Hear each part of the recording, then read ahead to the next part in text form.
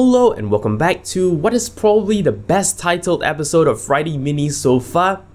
That's right, for this episode of Friday Minis, we're going to be talking about minification. So, what is minification? Now, minification is a technique used most often in web programming, and basically the idea is your web developer actually writes, you know, some code. This code is never compiled. This code is just sent straight to your browser and your browser actually interprets it as it is to actually generate the web page and to power its interactivity. Now here's the deal. When we actually write code, well, we like to space things out, we like to, you know, use tabs and have everything look really neat. This helps us in being more organized, this helps us in writing code that is more readable, so, you know, later on if we want to actually expand on it, we'll have less trouble. But here's the problem all these spaces and new lines and comments will actually be sent to you at the end of the day, despite the fact that they don't actually contribute anything to the actual performance of the script itself.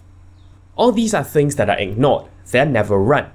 And yet, they are something that you need to receive before, you know, your web page can actually begin to load. That is where minification comes in. Minification actually, well, runs through the code and takes out all this redundant stuff. What you end up with is a smaller file, something that can be transmitted to you quicker, and what that means of course is better performance on your end as the user. And what that means is that minification is a simple way of compressing a script. Of course, while the definition of minification stops there, you can actually take this a step further. Notice that we sometimes like to use, you know, pretty complex variable names so that, well, it makes the code readable, well, we can actually shorten on that as well.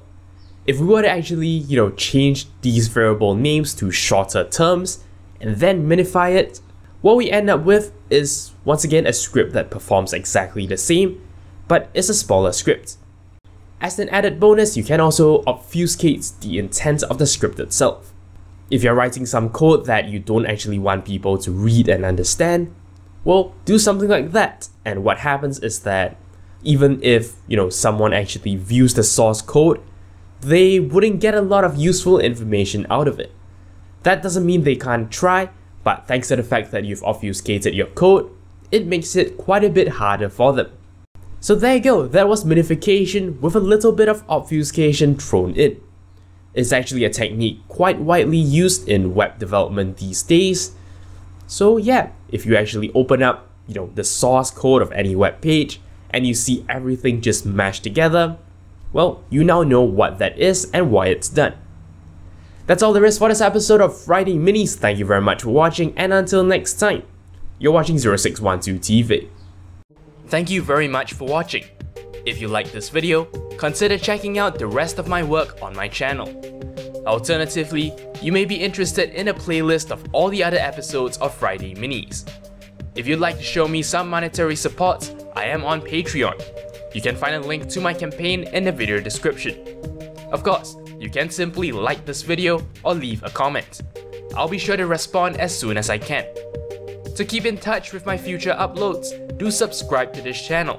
And for even more updates, check out the official Twitter account for this channel at 0612TV. Thank you for your support.